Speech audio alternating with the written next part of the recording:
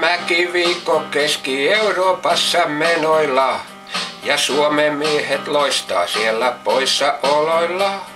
No siipiänsä Ville Larinto nyt testailee. Ja Häri tuskin kummun yli niillä leijailee.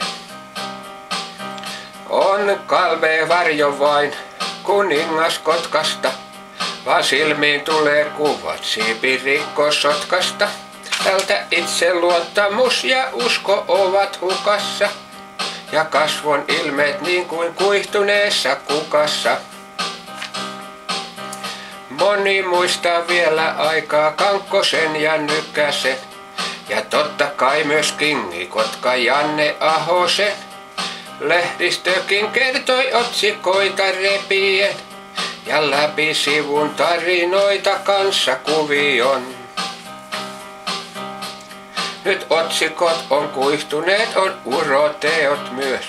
Ei juhli enää Suomi pojat Innsbruckinkaan yös, eikä iltalehden löpessäkään heitä enää näy.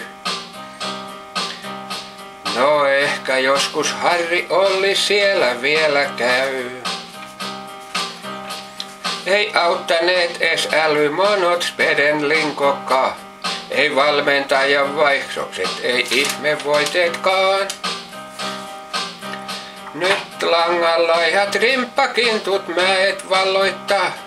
Ja puvut, jossa kiila polviin kurottaa. Tältä kehitykseltä, kun joku niska taittaisi, ja vaikka pihkaa sakeman, niin suksi laittaisi. Ja keksintö tää puklövin nyt eus kielletään. Ja vetyylistä perinteiseen hyppyyn siirrytään. Ja perinteiseen hyppyyn siirrytään.